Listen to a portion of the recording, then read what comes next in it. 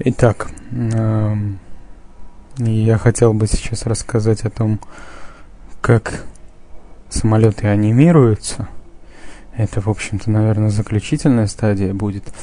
Сейчас я буду вставлять вот в эту старую модель новую визуалку от Самдима и, соответственно, селекшены восстанавливать в соответствии с э, их предназначением, так сказать. А, для начала, что нужно скрыть все оси, которые находятся в визуальном лоде, чтобы они у нас не удалились. А, нужно скрыть все прокси, чтобы они у нас тоже не удалились, и в ртуле надо скрыть, чтобы у нас были блеровые винты. Сейчас мы эту визуалку попытаемся скопировать. Ну, предварительно вот все, что было старым для нас, мы назовем как old. Чтобы его потом удалить. Теперь мы это новое копируем сюда подгоняем его под старое максимально, потому что для нас это более чем удобно будет э, подогнать под старое. В том плане, что все технические лоды переделывать потом несколько было бы проблематично. А, а так мы, так сказать, убиваем двух зайцев сразу. Удаляем старое. Во-первых, значит, что мы делаем? Здесь селекшенов как таковых, собственно, и нету. А, и мы должны приступить к анимированию всей этой модели. Но я хотел бы проговорить, во-первых, некоторые моменты, которые связаны с анимациями самолетов. Анимации, соответственно, здесь у нас на комьюнити bstudio.com описаны. Ну, например, э, я поищу Элерон. Мы увидим, что он нам здесь найдет. Он найдет нам, например, описание того, как это все у нас анимируется. Здесь много всего лишнего, на мой взгляд, написано. Я проговорю только самое основное. Ну, во-первых, а, все анимации, все, что касается модели, нужно описывать в файле model KFG, потому что движок и, собственно, ПО, которое забинаривает модель, оно заточено на именно на нахождение кода в модуль КФГ. Почему? Потому что именно этот код будет зашиваться в забинаренную модель отдельно от конфиг CPP, который будет, опять же, бинариться отдельно. Из чего состоит а, этот самый модуль КФГ? Сначала описывается класс KFG Skeletons. Можно, собственно говоря, посмотреть, что у нас есть по этому поводу в AN24, вернее, в AN26. Ну, по сути, это старый конфиг AN24. Вот. Здесь, соответственно, ну, описывается внешний класс вращения это, по-моему, не, не обязательно, хотя, види, видимо, видимо, оно необходимо. Если мы говорим о анимировании самолетов, то мы должны описать внешний класс самолета, чтобы от него наследовать. Ну, можно наследовать от дефолта. А, соответственно, в скелетонах мы должны описать класс наших собственных скелетонов. А, вот мы назвали An26 V3 Bones, унаследовали от класса Planes э, у этого класса есть атрибуты из дискрет 1, дискретные. И я, честно говоря, никогда не вдумывался в то, что они там означают. Ну, что, что важно для нас, это кости скелетонов. А, это массив, э, соответственно, селекшенов, которые здесь описываются парами. Я уже говорил, что selection может быть частью какого-то другого селекшена при движении в анимации. Вот, соответственно, например, э, колеса, они наследуются от Джиретта, соответственно, шасси задние. А дальше в KFG Models уже описывается сама модель, которая будет анимироваться. Здесь мы должны для ретекстуры описать э, те селекшены, которые в предыдущем видео были э, созданы. А так, ну, собственно, сделаем это. У нас, в принципе, все в этом плане просто. Есть у нас selection вот этот. Меня спрашивают постоянно, не постоянно, но пару раз уже спросили, задали такой вопрос, почему, как, как, по какому принципу а, действует set object текстур. Так вот, а, в секциях в KFG Models описываются секции, которые потом могут быть использованы в hidden selections. И setObject текстур у нас э, может быть применено к этим селекшенам именно в том порядке, в котором они здесь описаны и в котором они описаны в hidden selection в конфиге. Соответственно, вот этот selection, к нему можно обращаться по индексу 0, поэтому к этому с индексом 1, к этому с индексом 2.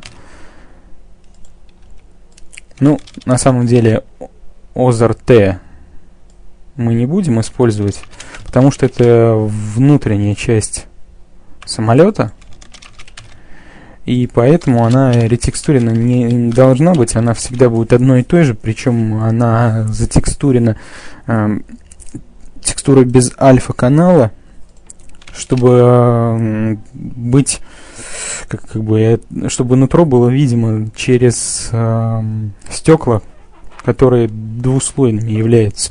Это очередная проблема. Не совсем я как бы в курсе, как э, с ней бороться. Но, ну, вернее, вот я борю, борюсь так, что просто делаю текстуры без альфа-канала, и они э, будут видны через двойные стекла. А текстуры с альфа-каналом видны не будут. Так, что... Я сейчас открою AN24.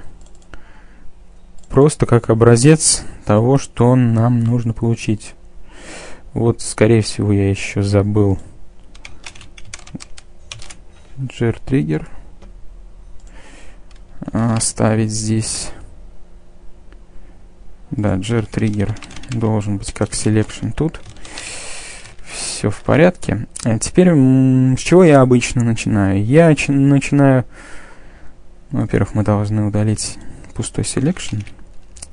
нужно еще говориться, что нам нельзя удалять, э, ну, вернее, закрывать окно редактора, потому что селекшены, в которых нет ничего, они потом исчезнут. А Redefine всегда делать гораздо проще, чем э, создавать текстуры заново. Вот, соответственно, начнем просто по алфавиту даже. Здесь никаких проблем нет с этим. Мы выделяем левой кнопкой ненужные, нажимаем Ctrl-H, скрываем то, что нам не нужно. А, берем, опять это тоже скрываем. Это у нас будет, собственно говоря, левый элерон. Это у нас будет, соответственно, правый элерон. Здесь эти селекшены, которые касаются AN24 мы удаляем. С оси у нас тут есть. Это мы не будем никак менять. Теперь э, рули высоты анимируем. Я прошу прощения, что я немножко сумбурно все это проговариваю, потому что э, перескакиваю немножко с одного на другое. По, потому что в процессе работы несколько приходится отвлекаться от, собственно, процесса на то, чтобы это все прокомментировать. Соответственно, вот это у нас будет руль высоты. Прав... Левый. Так, это правый. Левый, правый. Теперь а, посмотрим, что с закрылками у нас было. Закрылки у нас в количестве двух штук по левому и правому борту. Сейчас скроем все, что нам не нужно. Посмотрим, что там в АН-24, как они были проименованы, эти закрылки. Эти закрылки были проименованы, соответственно, таким образом. Внешние это первые, внутренние это вторые. Так. Ну вот, это flaps left redefine.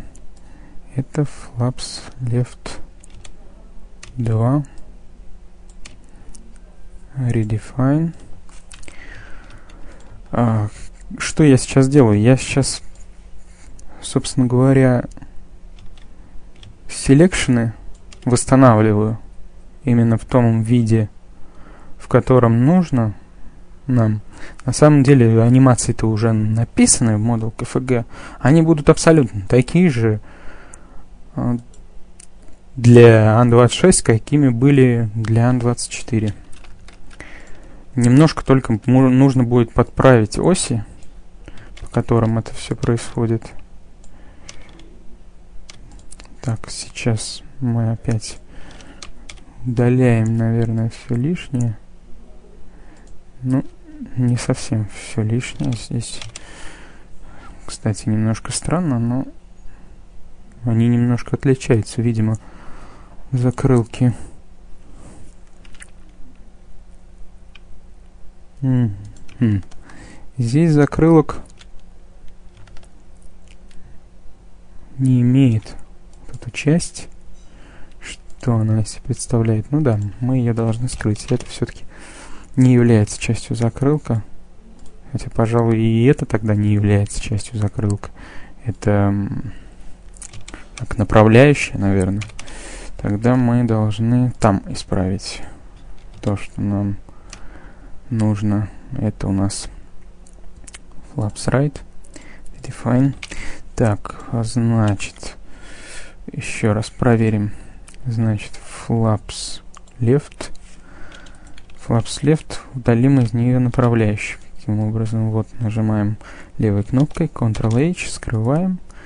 И опять выделяем, делаем Redefine для этой закрылки. Так, значит, мы закрылки сделали, элероны сделали, а рули направления сделали. А, что тут еще? У нас не совсем корректно блюры сделаны. Их нужно повернуть. Повернем их на угол. Сколько там? Так, нет, это не этот угол. Поворачиваем их на угол, допустим, 30 градусов. И выставляем их так, как нам нужно. Именно вот таким образом. Здесь, соответственно, тоже нужно на 30 градусов повернуть, я думаю потому что они примерно одинаковые. Теперь еще надо посмотреть вид сверху, совпадают ли они, собственно, по нахождению винтов. Ну, приблизительно совпадает.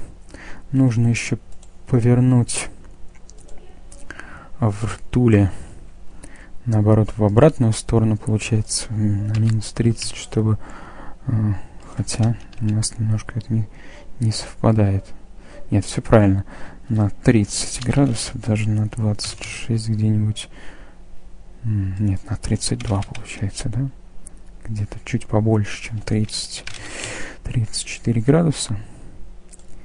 Ну, то есть, что я хочу сказать, это все делается на лету, поэтому я здесь заранее не знаю, как нужно преобразовать все это, чтобы было корректно. Поэтому есть некоторые накладки, так сказать, а, процесс работы в реальном времени. Тут вряд ли можно будет это все исключить.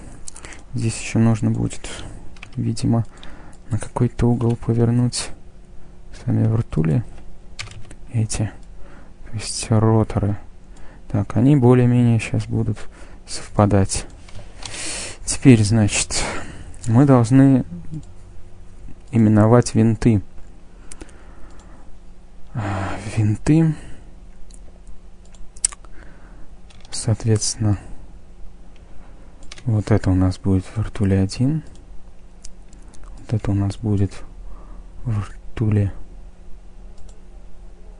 Нет, в ртуле 0 был предыдущий, этот будет в ртуле 1. Теперь в ртуле статика. Во-первых, ртуль блюр мы удаляем.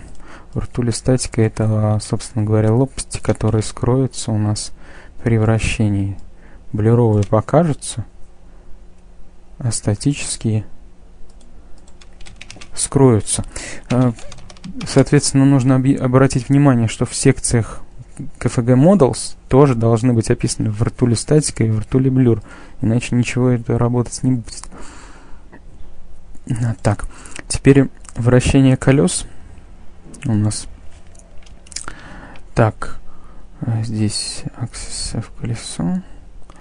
Значит, F колесо это у нас поворот, собственно, колеса при маневрировании.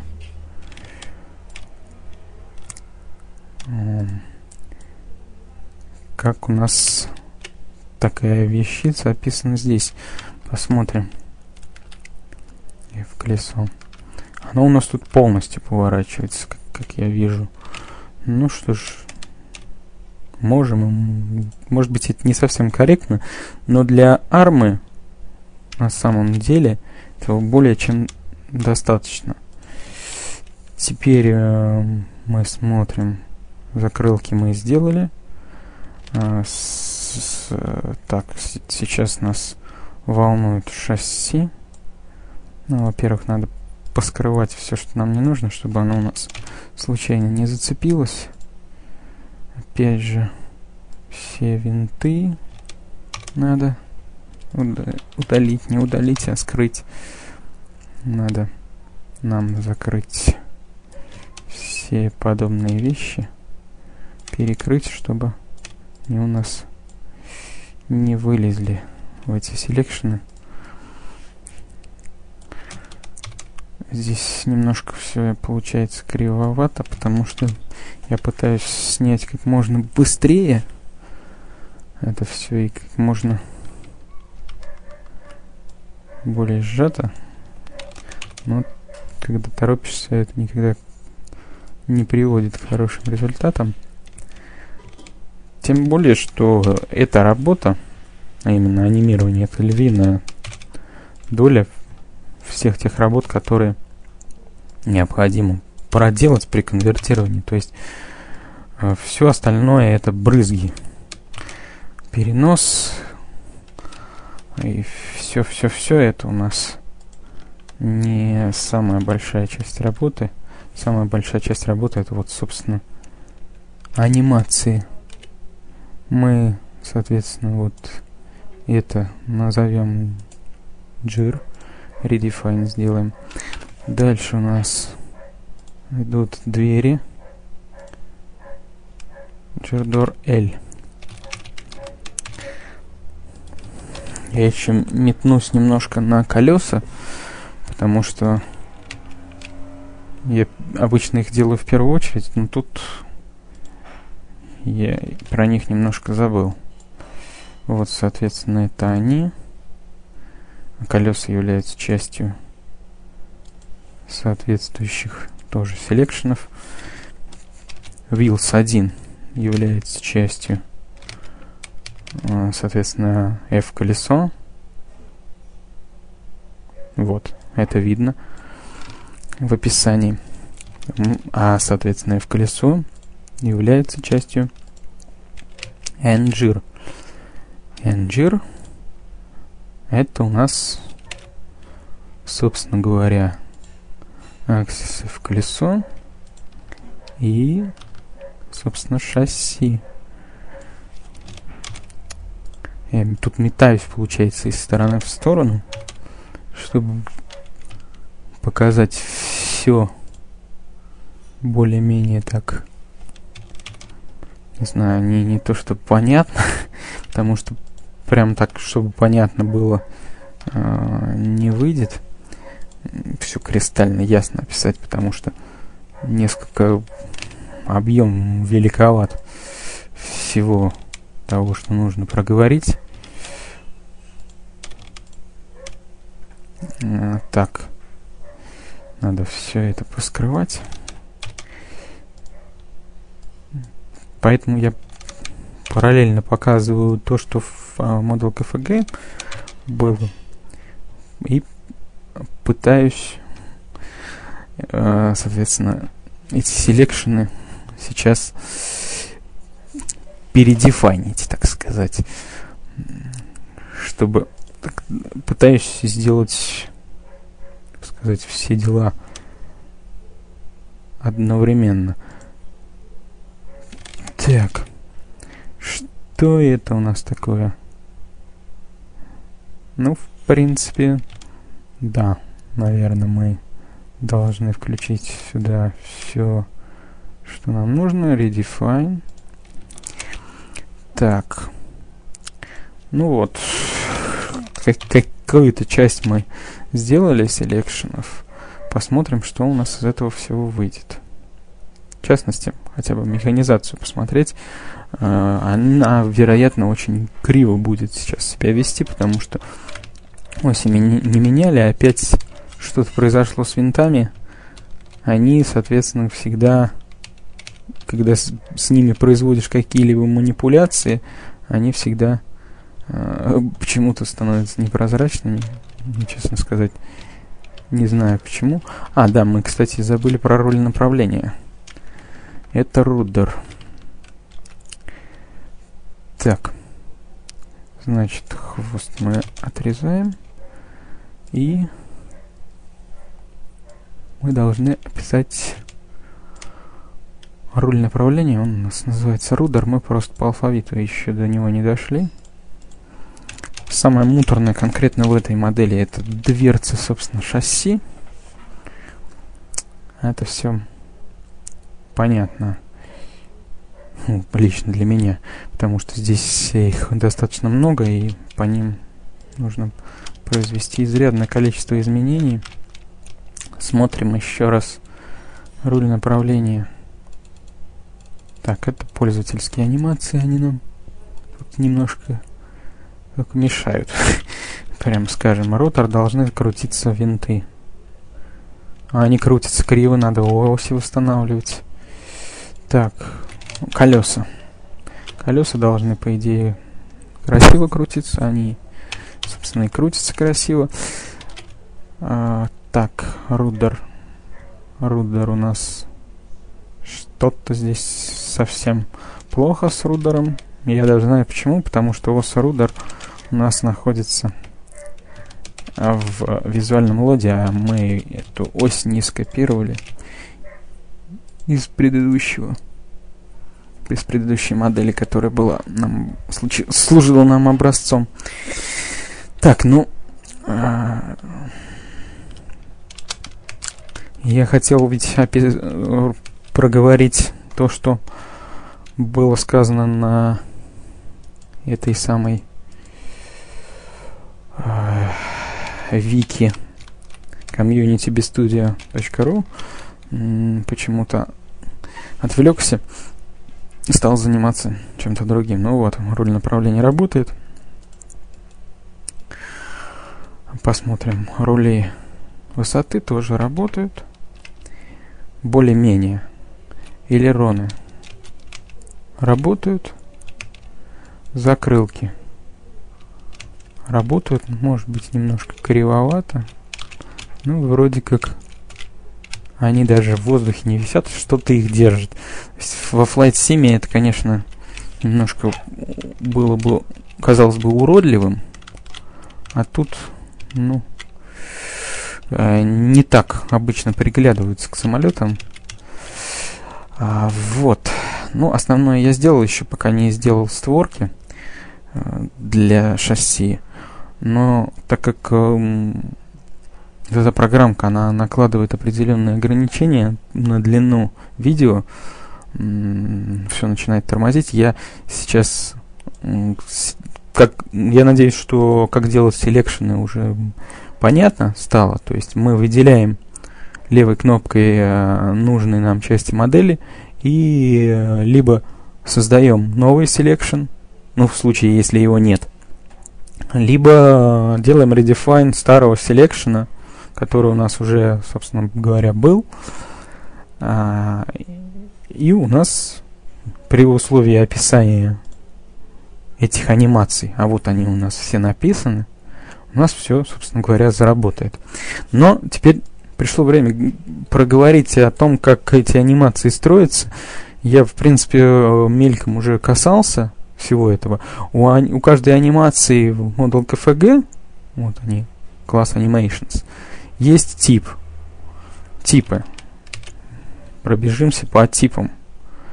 Здесь, соответственно, должно быть описано, что они какие тип, тип, типы могут быть. Э, rotation – просто вращение вокруг указанной оси. Rotation X – вращение вокруг оси X. Rotation Y – вокруг оси Y. Rotation Z – вокруг Z. Translation – перенос вокруг, э, вдоль оси.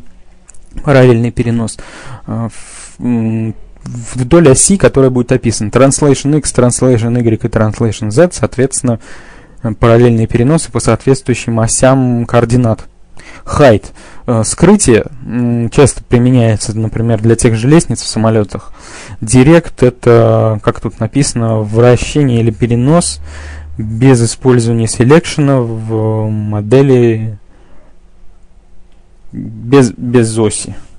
Я, честно сказать, никогда не, не пользовался, даже, опять же, не, не задумывался. Что у нас дальше есть? У нас есть а, source. Это ти типы сурсов здесь тоже описаны. Нужно проговорить, а, какие здесь бывают типы. Самые важные, самый важный джир это, соответственно, шасси. Элерон, соответственно, поверхности элеронов. Элерон B, элерон T. А, вот, к сожалению, я первый раз заметил, что они тут э, разные бывают, но скорее всего они связаны как-то сейчас с воздушными тормозами, но не, я пользуюсь только элерон сурсом. Элеватор это сурс для рулей высоты, флап, соответственно, закрылки, ротор вращение винтов, рудер руль направления, спид брейк соответственно,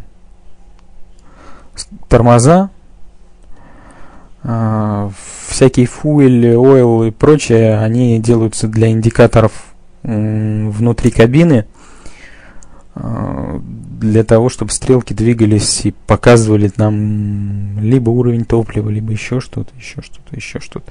Есть для... Это все были э, aircraft для всех самолетов и вертолетов. Есть специальные для э, именно вертолетов.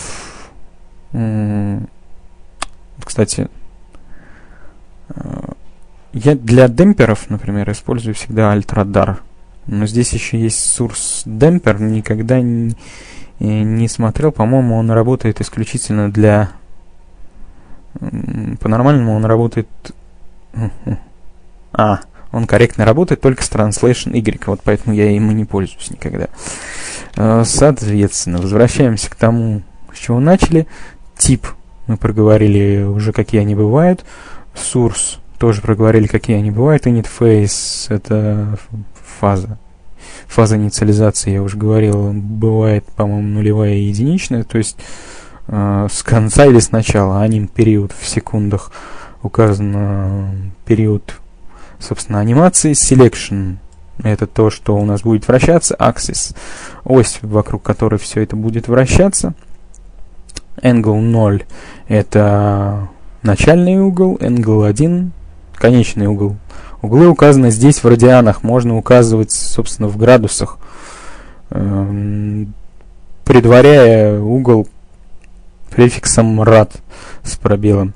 Э, Еще говорю такой момент, что э, оси могут быть э, как в лоде memory, так и в лоде визуальном. Соответственно, если они находятся в лоде визуальном, memory нужно выставлять 0. Если находится в memory, memory нужно выставлять 1, то есть true, false. Далее. Uh, min value, max value. Что они задают? Например, для шасси uh, от нуля до единицы uh, анимации проходят все свои стадии. Соответственно, створка должна открыться, например, где-то в самом начале, потом где-то в середине должны вынуться шасси, ну, вернее, не, не вынуться, а пройти вот то пространство, которое закрывает створки. И после того, как пройдут э, шасси, нужен, эта же створка должна вернуться. Соответственно, я пишу как одна анимация будет от нуля до 0,2. То есть это, это от нуля до двух десятых э, стадии, собственно, анимации. Общий джир, например. Для нас самое важное это джир. Э, у шасси будет э, min value 0.2, max value 0.8. То есть он будет двигаться в стадии от 0.2 до 0.8. А закрытие створки будет уже от 0.8 до единицы. То есть э, э, получится так, что ни, ничто нигде не пересечется, а они будут э, синхронизированы в соответствии с минимальными и максимальными значениями, насколько я это все себе представляю. Но здесь я ничего менять не буду, потому что здесь все повешено на триггеры. То есть, э, как, как это все реализовано присваивается анимации source user, то есть пользовательская анимация. Эти же пользовательские анимации описаны в config cpp.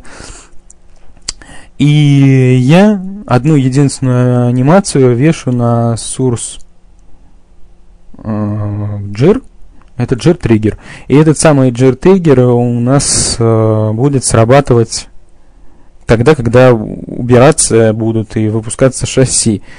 И на него повешен, соответственно, скрипт такой. Он на init отрабатывает. Соответственно, здесь пока живой этот AN26, он проверяет, все анимации пользовательские переведены в соответствующее JIR-триггеру положение или нет. И анимирует их в соответствующем э, порядке. То, то есть здесь min value, max value не имеет вообще никакого значения, потому что здесь я вручную это все описывал. Я просто про эти вещи не знал, честно скажу. Теперь э, знаю, но есть определенные минусы у использования анимации именно без триггера, а именно у них почему-то э, аним период э, я не могу задать больше определенного значения. Они всегда достаточно быстро закрываются, а вот с триггером я могу задать как сколь угодно большое время, потому что анимации с source user, они полностью могут быть описаны, как в плане аним период, так и в плане всего остального. Ну, я на этом заканчиваю эту часть. В следующей части я как бы